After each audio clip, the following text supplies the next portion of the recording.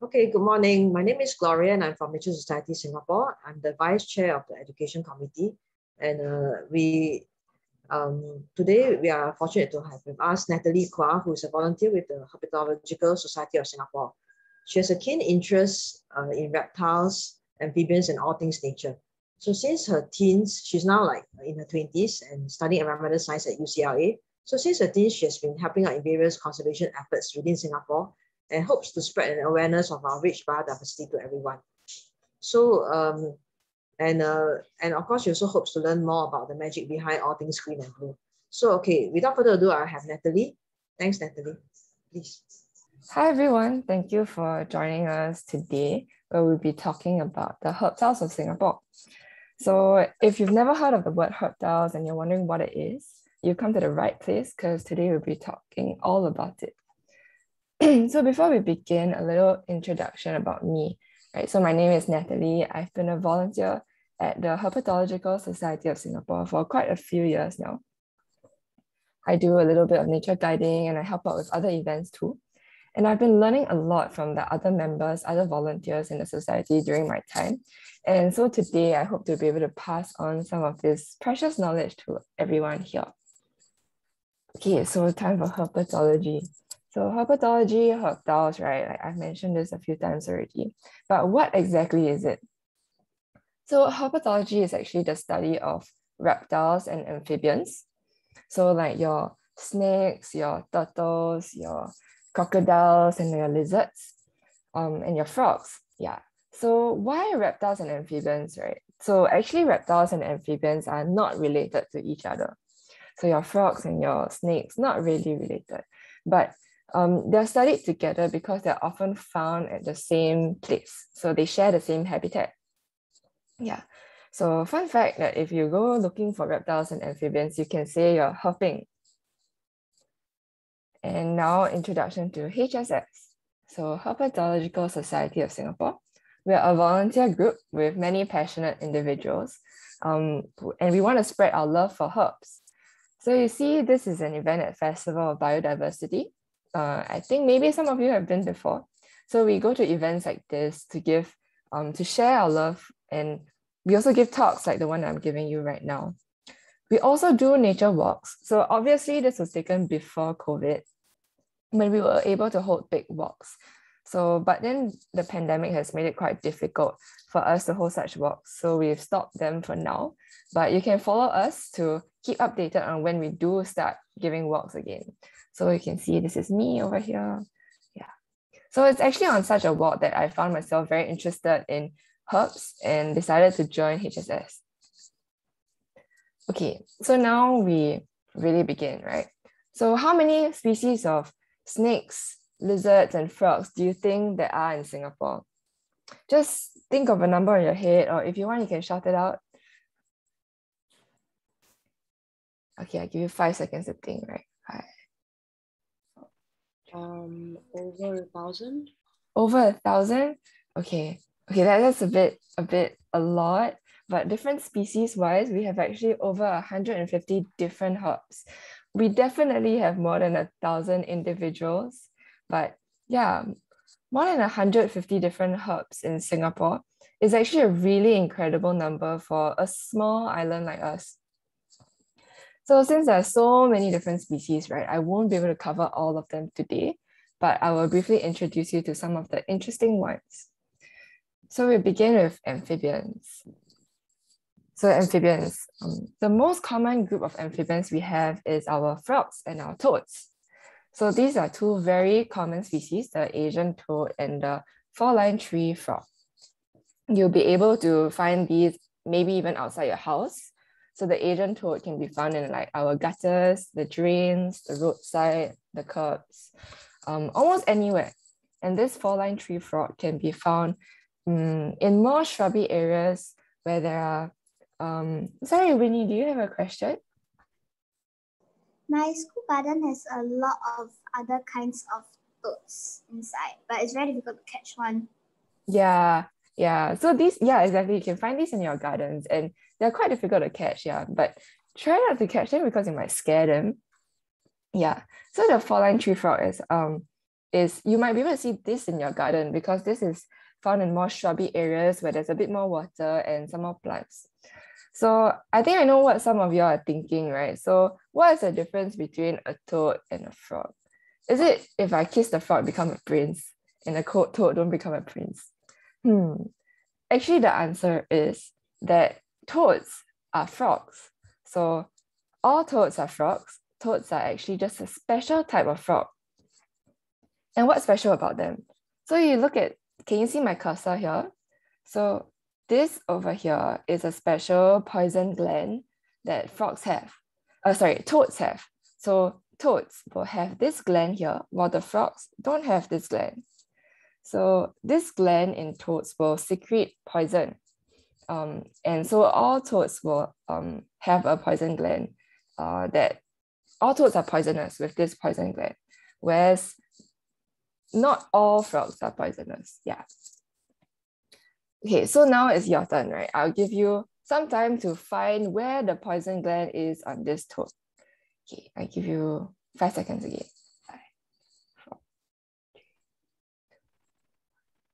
Okay. Have did y'all manage to find that this is actually the poison gland here? This long line.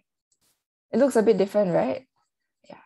So um, this is a frog and this is a toad. This frog doesn't have the gland and this frog, this toad has a gland here.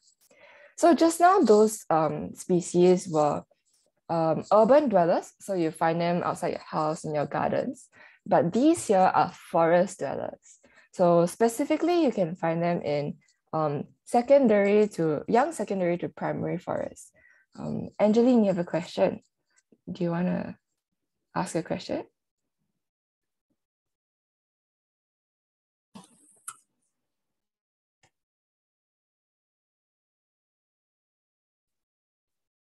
Oh, I think you're muted. Okay, maybe you don't have a question. I but- think I oh. found the poison gland. Oh, you found the poison gland? It's over here, right? Do you see it?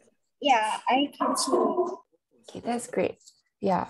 So yeah, this is the four-ridged toad.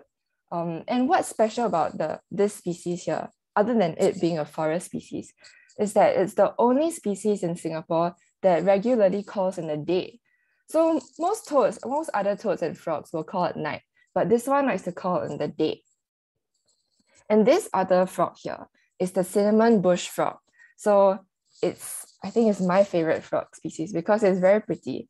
Look, it's a bright orange with white speckles over here. It's the only frog in Singapore with such um, beautiful bright coloration. And um, recently, NParks had a species recovery program to reintroduce this one into botanic gardens. So maybe if you go to botanic gardens, you'll be able to see the cin- cinnamon bush frog. Okay, so moving on to some other really special and really rare frogs that we have in Singapore. So these are also forest dwellers, but they're really rare. So if you see this is the Malayan horned frog, it's critically endangered and only found in Bukit Timah, along with very restricted patches in the central catchment, which is MacRitchie area. So if you see um, this frog here, you see that one point, two point, and there's one more point here, which is the nose. So what are these points for? It makes the frog look really cool, right?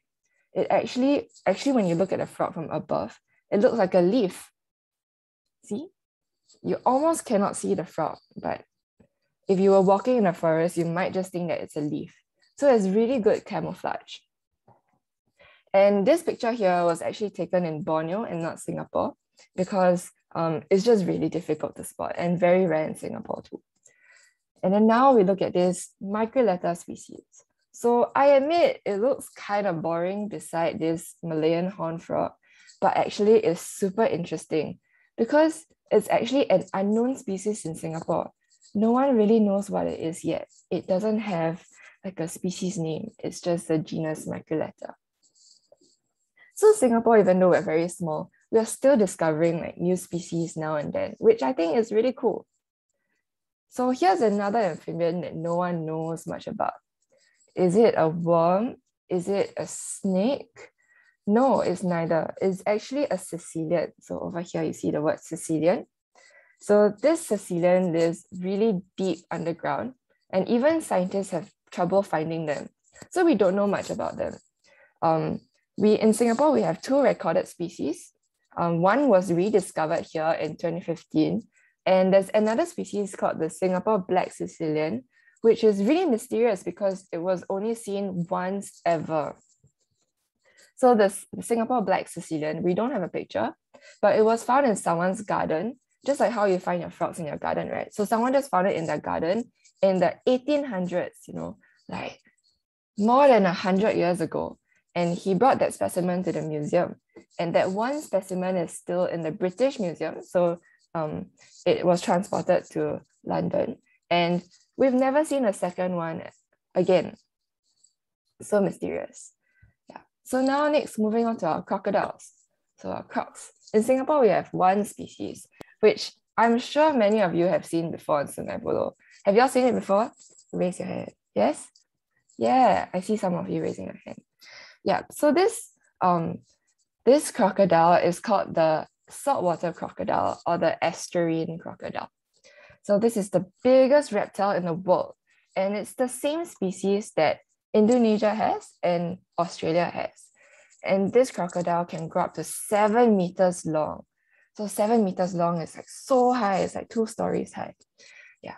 And it also has the strongest bite force in the entire animal kingdom. So if it bites, it's really, really strong. Walk quickly. Mm. And the ones here in Singapore, though, is a lot smaller than seven meters. You cannot find seven meter crocs in Singapore. Why? Because in Sing- in overseas, right, they can eat things like sheep, goat, and bigger animals. But in Singapore, it only can eat fish and maybe an occasional bird. Yeah, so it's a lot smaller. Now for turtles. Turtles. So sea turtles. In Singapore, we have two species that we can commonly see. The green turtle and the hawksbill turtle shown here. So these two are hawksbill turtles. This is the adult and this is the baby. So if you've been reading reading the news, right, we've actually been seeing quite a lot of hawksbill turtles and their nests in our beaches, like East Coast Park and the Southern Islands. So interestingly, this hawksbill turtle is critically endangered, but it's the more common species in Singapore. So it's quite special.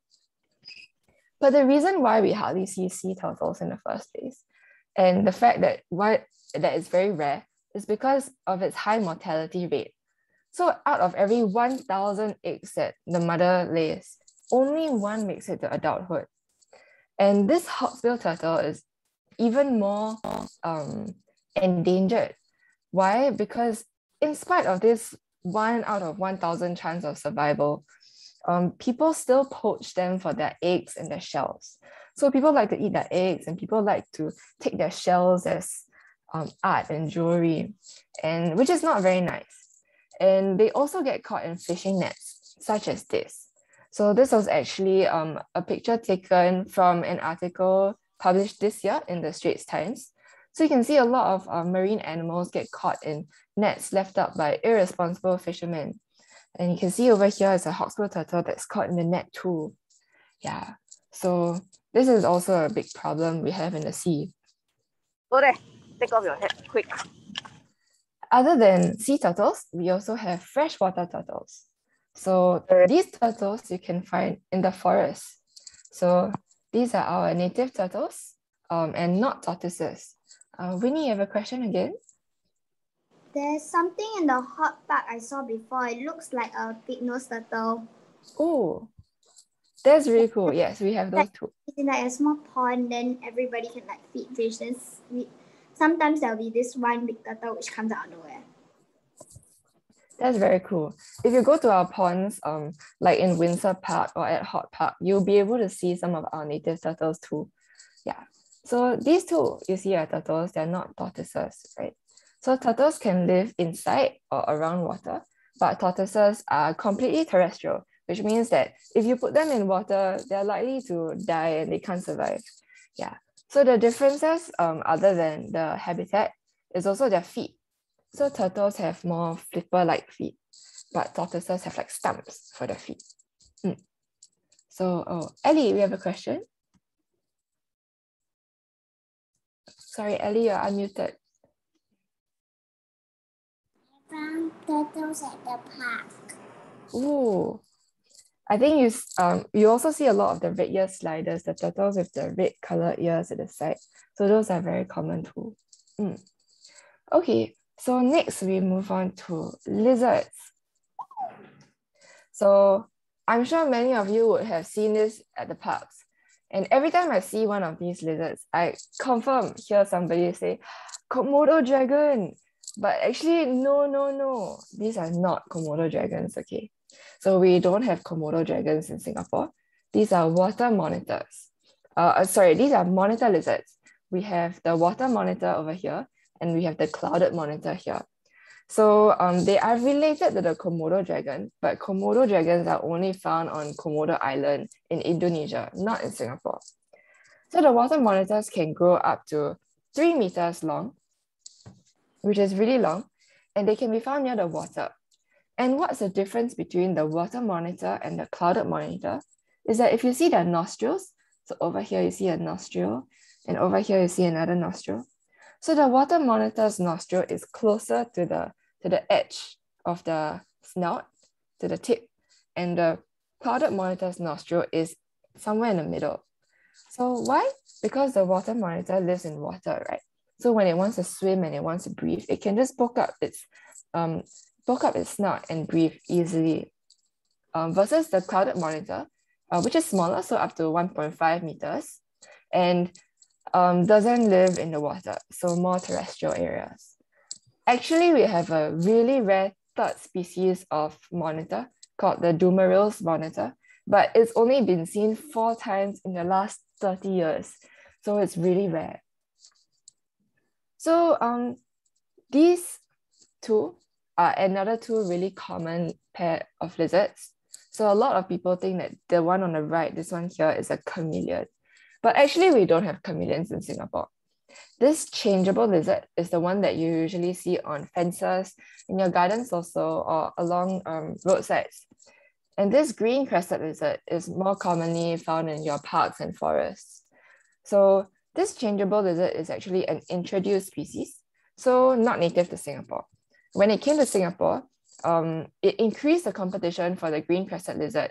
And so now this green crested lizard is actually less commonly sighted because it's more difficult to find food because the changeable lizard is eating all its food, right? Okay, and then now for an exciting fact. Did you know lizards can fly? So this is a Sumatran flying dragon, which is part of the Draco genus. So you see Draco here. In Singapore, we have three different types of Dracos. So firstly, you see this flap over here, right? So it has a flap at the neck. So this flap is a dewlap. It actually uses it to communicate with other lizards. And so this is a male lizard with a very big flap. Female lizards have a much smaller uh, dewlap. And how does this fly? So if you look at this picture here, you look, it has like wings, but they're not actually wings. It's actually their rib cage. So if you feel your rib cage, right, it's hard and it's stuck to your body. But the Draco lizard's rib cage can open. So its rib cages will open and form this thing called a patagium, and that which allows it to glide from tree to tree. So it'll jump off, and this um, patagium will help it glide. Um, and this other gecko here, so we have another kind of uh, lizard that can fly. So it's very cool. You know why? Because its name is the cool gliding gecko. Yeah, it's a very cool looking gecko, but instead of uh, ribs that can expand, it has webbed feet. So you see its feet here, it's webbed. So these webbed feet help it glide from tree to tree. Actually, in Singapore and other parts of Southeast Asia, like Indonesia, Malaysia, um, a lot of animals can glide, like lizards um, and squirrels. They can glide, and it's interesting because um, it's quite unique to our forest. And why do we have this adaptation?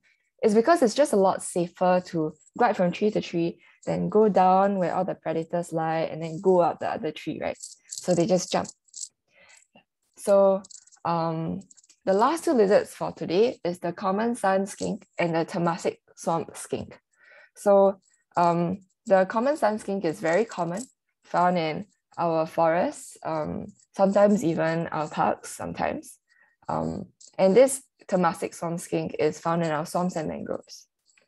So now on to my favorite part, and the part that I'm sure all of us have been waiting for, which is snakes. So we have quite a diversity of snakes in Singapore of all different sizes. Um, and this is a really, really small snake here that we have. So this is a Brahminy blind snake. And when you look at it, sometimes you even think it's an earthworm because it's that small. And the Brahminy blind snake is actually the most distributed snake in the world. So it's found on every single continent except Antarctica. So if you look closely, this Brahminy blind snake has scales. See the little scales? And it also has tiny eyes over here. Um, I've seen one of those before. I, at first, I didn't know what on earth it was. Oh, yeah. Actually, they're so they're very common, but somehow I've never seen them before. So you're really lucky and have really good eyes. Yeah, so trust me, right? It's a snake because of its scales. And another fun fact is that this species is an all-female species. It does not need males to reproduce. Um, yeah, so its babies are, are almost like clones to its mummies. Mm. And this is another small snake here called the Gimlette's reed snake. So it's a bit longer than an earthworm. So it's not really, it's bigger than the Brahminy blind snake. Um, but what's special about this snake is that it was rediscovered in Singapore in 2017 by our very own HSS member, Ing Sin. So before he saw it in 2017, it was actually not seen for 84 years. So, so cool. We are, we are finding, um, old, we are rediscovering old species uh, every day. So these two species um, of snakes, I think are also very pretty because of its iridescent scales. So you look at the rainbow in the scales of these two species. Yeah. So this is the sunbeam snake. The sunbeam snake is kind of ironic because it's actually nocturnal and only found at night. So maybe we should change its name to moonbeam, right? Not sunbeam. Um, and this over here is the reticulated python. So this is the largest snake in the world. It's the longest. It can grow up to 10 meters long. So 10 meters is so long. Um, and it doesn't grow up to that size in Singapore because just like the crocodile, it doesn't get to eat big animals. Um, it can only eat smaller things like rats. Um, so it does help with uh, rat population control. And it also eats, sometimes it eats things like cats and maybe the occasional pangolin. And now for my favorite snake. So this is the paradise tree snake. So um, look at the colors, it's really pretty, right? So what's special about this snake is just like the Draco, it can fly or glide. Um, but I like to say it, it can fly because it's cooler. Yeah. So if you look at this zoomed in photo here, um, you can see that this snake is kind of flat. It can flatten itself. So when it wants to glide from tree to tree, it will flatten its body into like a really long frisbee. So your frisbee is round, right? But this is like really long. Yeah. So it glides from tree to tree and in the air as it jumps. So when it jumps from tree to tree, it will go something like this, like slither in the air, and it can allow it to glide to the other tree. Yeah. So this one over here just landed. So that's why it's still flat. If not, it will be round like normal sticks. Okay, so in Singapore, we have venomous snakes too. Uh, specifically, we have seven highly venomous snakes. So just now I said that the toads have poison and then these snakes have venom. So poison and venom, what's the difference? So just remember, oh, Winnie, do you know the answer? Uh, is it venom must be injected into your skin, injected somewhere or at least entered by? Yeah, either by a bite or sting. Mm, yes. So ve- very, very smart. So venom has to be, um, if you remember, if it bites you, if the animal bites you and you get um you you might not die, but you and you and it affects you, it's venom. But if you bite it, so if you eat it or you lick it and it affects you, that's poison. Yeah. Venom must be injected and poison must be ingested. Okay, so we have seven highly venomous uh, snakes in Singapore. Um, I'll go through each of them. So firstly, we have the Malayan blue coral snake. So over here, this is the first snake I saw in Singapore actually, and it's really beautiful and has the longest venom glands in all snakes. So um, the Malayan blue coral snake can grow up to 1.5 meters and can be found in our forests. And the Malayan banded coral snake can grow, it's a bit smaller. Um, it can grow up to 60 cm. Um, but both these coral snakes eat other snakes. So its diet is snakes. Um, and if you see over here, what the Malayan banded coral snake is doing is that it's showing its threat display. So when it feels scared or threatened, right, it will flip its um, underside and show people the show its threat the markings to scare its threat away. So next we have the banded krait.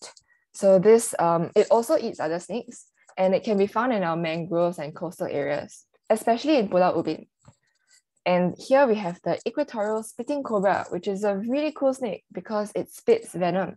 Um, this is the only species in Singapore that can spit venom. And over here is a juvenile because you see it has white spots on its under its hood. Um, adults would be totally black. Mm. So the next picture that I'm going to show you, do not ever, ever, ever do it, okay? Um, even if the snake is dead, don't do this because it can still envenomate you. So this is a dead specimen and this was done in a lab. So what I want to show you here, right, is actually this hole. So you see this hole? So you know injection needles have a hole, right? So snake fangs are just like injection needles.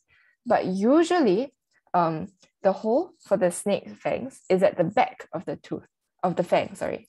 So it'll be behind. Um, but this is a spitting cobra and it's special because its hole is in front. So it's in the front, that's why you can see it. So when it opens it, its mouth and it wants to spit its venom, um, it will come out of this hole. And the spitting cobra only spits venom on its threat and it doesn't use it to hunt prey. So only to scare things away. Mm. So uh, next we have the king cobra. So the king cobra in Singapore, it's actually the longest venomous snake in the world and it has a record of over five meters. Um, as you can see, the king cobra also eats other snakes. So over here, it's actually eating a python. And this picture was taken in Sungai Buloh. And guess what? Did you know that king cobras are not actually cobras? So they're fake cobras, right? The cobras is is the um just now what we saw the spitting cobra. That's a cobra. Um, it's called a king cobra only because it has something that looks like a hood, and so um people just call it a cobra. Yeah. So another fun fact is that usually when you see the word uh, king uh, in its name, um, it means that it eats other snakes. And lastly, we have the pit vipers. So if you look over here, um, if you look at this over here, this is not actually the nostril, but it's a heat sensing pit. That's why it's called a pit viper, because it has a pit. So this pit senses heat and it helps it um, uh, sense its environment and watch out for its prey and potential threats. So the ones that we have in Singapore, the Wagler's pit viper and the shore pit viper, um, are actually ambush predators. So what this means is that it will lie in wait and it won't move until its prey comes to it, rather than going to actively hunt for the prey. Um, this Wagler's pit viper as you can see, is very interesting, right? The female and the male looks very different. The female is also a lot bigger than the male. So this species can be found in our forests, while the shore pit viper, which is also called the mangrove pit viper, can be found in our mangroves. Okay, so now we know all of this. I'm sure some of you are wondering, what do I do when I see a snake, a venomous snake, right? What should I do? Should I run away? Should I be scared? Well, not really. No, you don't have to be. So these, these are some golden rules. Um, firstly, sea snakes are very cute, right? You see this face is so cute. Um, the snakes don't actually mean you harm unless they think that you are trying to attack it. So don't panic because if you panic, the snake might think that you are being aggressive. Um, they are usually more afraid of you than you are of it. Um, so once you see the snake, you can observe the snake or herp or any animal um, in that matter from a safe distance. And if you think that the animal or you are in danger, you can contact ACRES or NParks. Um, So you can take a picture of these numbers here. So in case you see something that needs help, you can call the hotlines. These organizations are very well trained to handle wildlife, uh, just like snakes. So as to effectively and safely prevent harm from both you and the animal. Yeah. So sometimes people will think to call pest control, but actually these um, hotlines are recommended over pest control because um, these organizations are trained to uh, handle wildlife. Yeah, and it's better to call someone who's trained in uh, in wildlife um, to handle wildlife. So remember that coexistence is a choice, right? So if you like these uh, cute little herps to stay in our ecosystem and keep them healthy, do respect our animals and their personal space, and I'm sure they will respect you as well. Finally, here are some ways to keep in touch with HSS. If ever you want to go for our walks or ask any questions, you can contact us here. Mm. Thank you. Okay, thanks Natalie for the interesting talk. Okay, so um, if anybody have any questions, please type it into the chat group. Or since uh, we are so um, interactive this morning, we can even uh, unmute yourself and ask the question directly. Anybody? Okay, someone want to ask uh, the difference between uh, venomous and poisonous again. Can you explain it again? Hmm, so, um, uh, who on the office? Sorry, Gloria, do I answer? Okay, no, no, Natalie, uh, go ahead and answer the question. Uh, yes. Okay, so poison and venom. Um, an easy way to remember is that if you if you bite it, um, and you get that you get poison, but if it bites you, you get envenomated, right? So poison needs to be ingested, and then um, venom needs to be injected. Is that clear? Uh, yeah, I'll just type it out so that we can remember it. Okay, so what are your best tips to spot python? Python, ah, hmm. So pythons, I think, um, have been recently. If you read the news, you can kind of see them in urban places as well. So sometimes what I like to do is that when you walk, when you take a walk along Longkang or like the canal, you look inside and maybe there might be a python inside. But if not, you really just have to um, open your eyes, you know, like sometimes um sometimes they are at places when you take a walk in the forest sometimes it's quite difficult to spot because they're hidden underneath um underneath bushes and trees. But generally pythons are not really found like high up on trees uh. they're like usually in your in your line of sight and below. So you can just take a look in your drains and whatnot. Maybe you'll be able to find a python. Yeah. Okay. Ali, you want to ask a question uh, you can unmute yourself.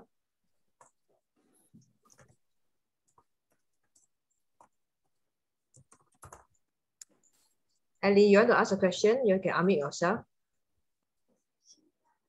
Uh, okay, please unmute yourself. I'm scared of cobra.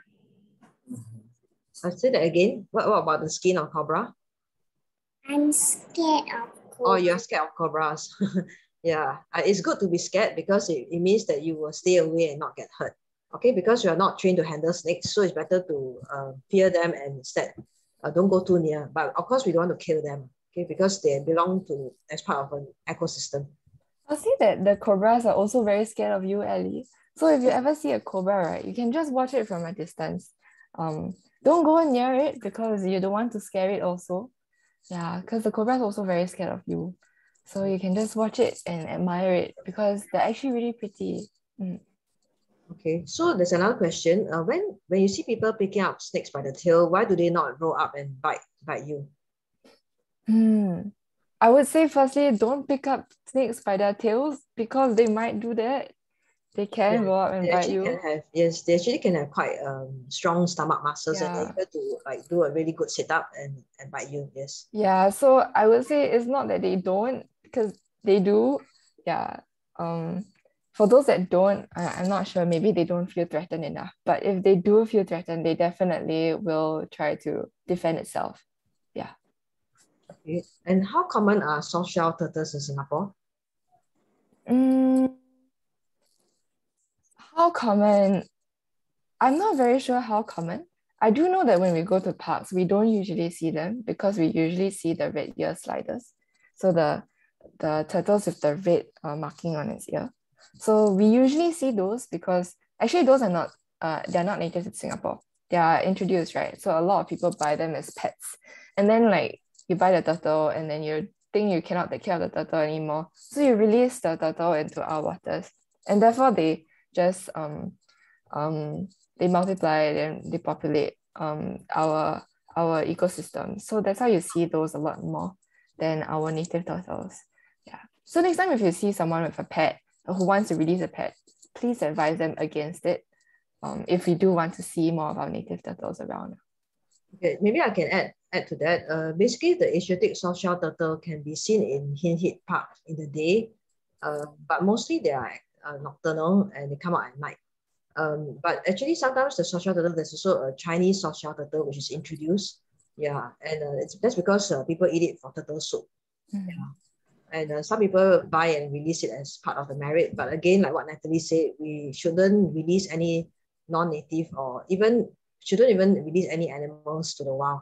Yeah, be it uh, turtles, birds, or anything else. Okay, and there's also um, is there's also a huge forest uh soft-shell turtle, the big forest one. I forgot what's the name. Natalie, do you know? I'm not very sure so, but I know I've seen soft shell turtles in Windsor Park also. Like 70 cm big, yes. Wow, okay. No, In I've the- not seen that one. In the in the CNR, yeah, the Central Nature Reserve. So I've seen all this before. Okay, so the next question, um, okay, for the Wagler's pit viper, how do you differentiate a male or female? Mm, okay, let me go back to my slide. Maybe you can see it clearer there.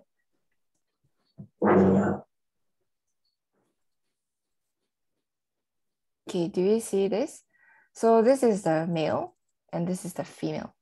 So they look really, really different, right? The male is green with red and white spots. And the female is just really colorful. It's black and yellow and white. Um, yeah, yellow stripes, black body. Um, the female is actually a lot larger. Um, I'm not sure the exact dimensions, but if you, you will see it's a lot um, thicker and yeah, whereas the male is really, really small. So it looks like a baby Wagler's pit. Baby Wagler's pit actually all look like males. And when it wants to become a female, uh, not when it wants to, when it's going to become, when it's growing older, it will turn, the females will, will turn into this color. Hmm. Okay. Okay, so people, uh, the kids here seem to want to find venomous snake. So where is the best place to find them? Where is the best place maybe to the spitting cobra or whatever. Oh, I've seen the Wagler's pit the most um most often amongst all the venomous snakes. Uh, you can find them in your central catchment, so MacRitchie. Um, you can you will be able to find them. These are not too rare. Uh, shore pit vipers are also quite common if you go to our mangroves. So like Pasir Ris mangroves, uh, Sungai Buloh, you'll be able to see the pit vipers. King cobras, if you want to see, I know Sungai Buloh um, will have um, will have a few, but also quite difficult to spot. You have to be there, right place, right time, and a lot of it is luck also. What? Sorry, some people. Okay, the uh, uh, just to add, the black spitting cobra actually is quite common. It can be found in parks, uh, gardens, and a lot of uh, disturbed, abandoned land, uh, as in state land. So um, if you're lucky, you can see it is black and it's quite big, but just keep your distance uh, because it when it spits, it's Mm. actually aiming for your eyes. Okay, to uh, to in that sense Mm. to um to dis- distract you so that it can get make a getaway. Yeah, don't scare it. That's the most important. Yes. Okay, so How do snakes mate? how do snakes mate? How do snakes mate? ah? Um, so I think different snakes probably have different uh different ways of mating. But I know that we have some snakes in Singapore where um the female will release um oh I can't remember that word now. Um will release like a scent to attract the males and then the males will all come to mate with the female. Pheromone? Yes, yes, that's a word. Correct. Yeah, because some of the snakes, uh, they they actually form a the this basically the female snake, like what uh, uh, the pheromones will release and then the male snakes will come. So sometimes more than one turn up Mm. and then they uh, they have to tussle and sometimes they form a snake ball. So it's like several snakes together. Yeah, so If you I'm fortunate enough to see it before. yeah, You see several If you- snakes congregating, yes. if you watch the Wild City, um, I think episode three or four, they have Yes. one scene where they show the snakes meeting, and it's very cool. The bronzebacks. Yes, Wild City uh, Channel News Asia. You can uh, Mm. go on YouTube to look for it. Okay. So um okay, Ali, you want to ask a question? Friend, I think Fatin or Ahmad wants to ask also. Okay, Ali, Yeah. please, Ali. how did coral snakes get their name? Ooh, I'm not very sure how they got the names, but as you can see, coral snakes are very pretty and brightly colored. So I suspect it's probably because of that, maybe. Um, I can only guess.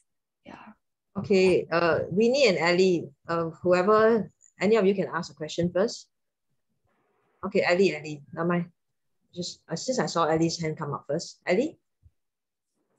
My friend, he he's not scared of snakes because he will be very quiet. The snake will go around his neck. Oh, Okay. If you see a wild snake in Singapore, do not let the snake go around your neck. Okay. Yeah. So um maybe Yeah. those are pet snakes, but in Singapore we're not allowed to keep pet snakes. Yeah. So if we don't know what the snake is, and um it's best just not to keep your distance and respect the snakes also. Yeah. So even if you're not scared, don't approach the snake. Okay, Winnie, you want to ask your question? I think they are called coral snakes because the first few were found in the water, like camouflaging with the corals. Oh, is that right? I think something like that because I read one of my books. It was something about that. Oh, maybe. Maybe then. But the coral snakes in Singapore are usually found in our forests and like not near the, the ocean where the corals are. So, but maybe they are related. Okay, so uh, Daniel wants to know whether just now what you presented, the snakes, turtles, and other herps, uh, are they seen uh, in our secondary forests or or where do where can you find them? Most of um, most of them are found in our secondary um, forests. So like our nature reserves, um, you'll be able to see quite a lot of them. Some of them are urban dwellers, just like um, what Gloria mentioned about the black spitting cobra. Sometimes you can find in more disturbed areas. And like the Asian toad and the four-lined tree frog, those are urban species as well. Um, yeah. Okay, maybe you want to cover about iguanas because some people uh, have Oh, mistake that uh, the iguanas is Singapore. Uh, there are a couple. There are some iguanas restricted to some areas in Singapore, but those are not actually wild. Um, they're not actually native. They're again uh, released pets. So just like how sometimes you see a pet bird who accidentally flew away, it would be the same for the iguanas. They're not really part of like our natural ecosystem. Okay, so uh, can a snake envenomate itself? That means it, let's say it bites its own tongue. Interesting question, which I'm sorry I don't have the answer to. I'm not very sure about that. It's, it's okay. We can all Google the answer, okay, ourselves. Okay, um, wait, uh, let me see what the questions. You have like 20 questions or maybe comments. Let's see. Hmm, Oh, I think it's the same. Okay. Uh, okay, maybe I, I ask a question. Uh, how many snakes have you seen yourself in Singapore? You haven't Hmm. I used to keep account a long time ago, but I stopped keeping track. Okay. Uh, yeah, I, I I'm not I, I don't have a number. I'm sorry.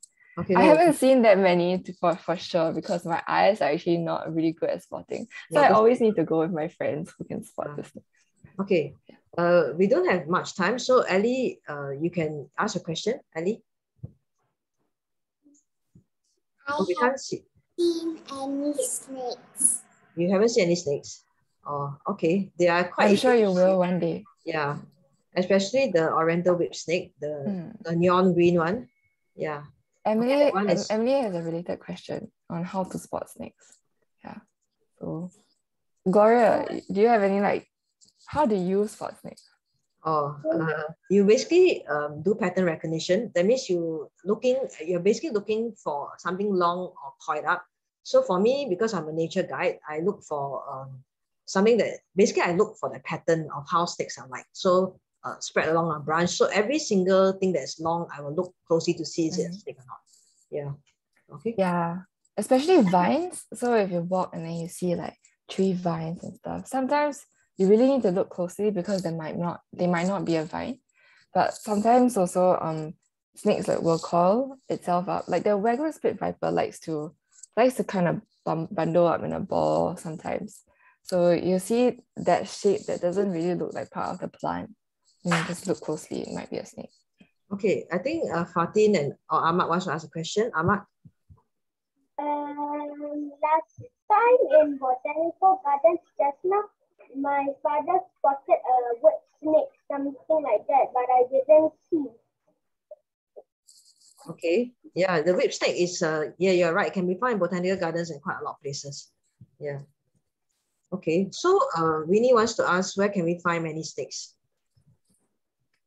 I think we've had quite a lot, uh, quite a lot of luck at Pasir mangroves. So if you go to Pasir mangroves, um, you'll be able to see a lot of whip snakes, oriental whip snakes, and also if you look into the, um, into the mangroves like the roots, um, sometimes you find like mangrove snakes, like your dog face water snake.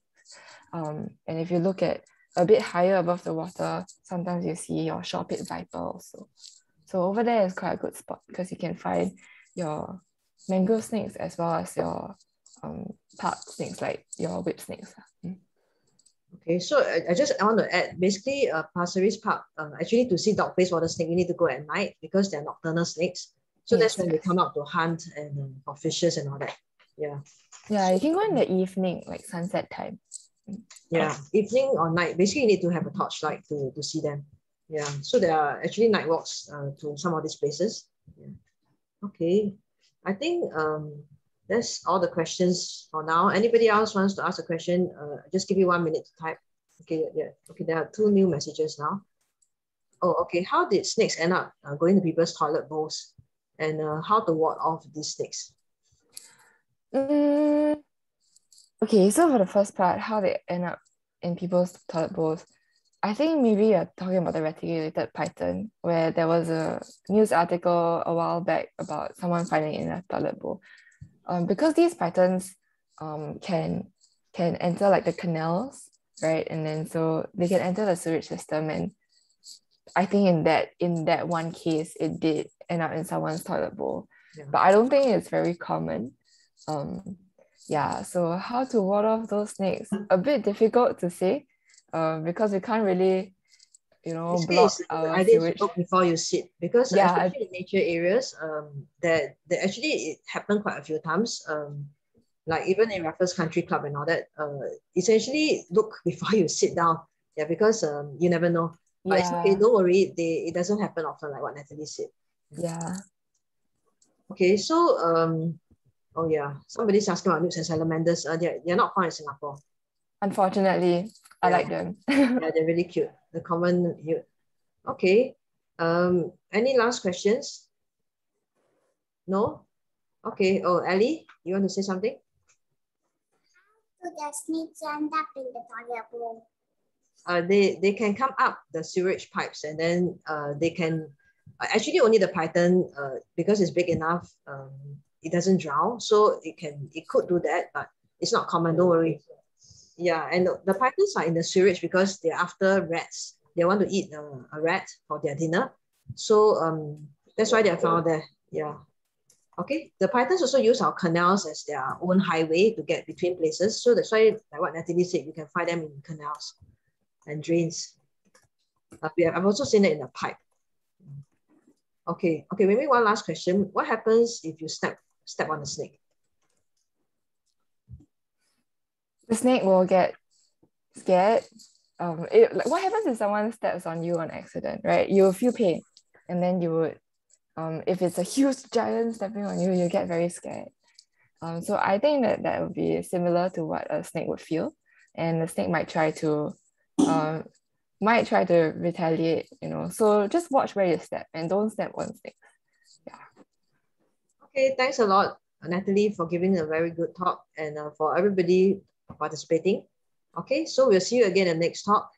Uh, we'll be having a Farm with Singapore insects. Okay, so you all can sign up um, in Nature Society website or other places. Thanks for coming. Okay, thank you. Bye-bye. Bye bye. Bye. Bye. Bye bye.